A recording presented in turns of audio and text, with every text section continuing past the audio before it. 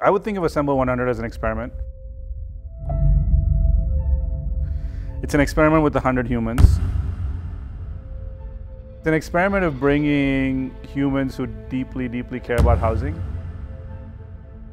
that then, you know, forms the networks, the webs, the solutions that we can come together on is our experiment. Ours is a $200 billion industry that has existed for 100 years. There's no reason to believe that that stands to change meaningfully on its own. This is a really exciting event. We have people from government, people from philanthropy, people from investors and entrepreneurs themselves. When I heard about Assemble 100 and got invited, I said it was basically my version of the Super Bowl, an event that's centered around providing the space to cultivate relationships that you wouldn't normally have.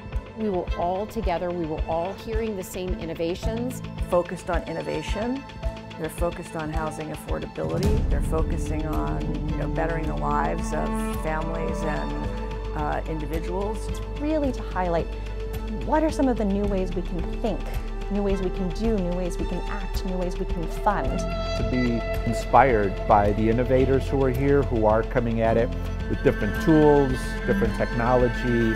Bringing everybody together to talk about how we do things differently, that's the secret sauce. I love the beauty of the humans in all of this.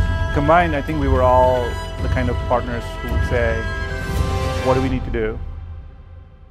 I think that's going to really help the ecosystem move forward as a movement.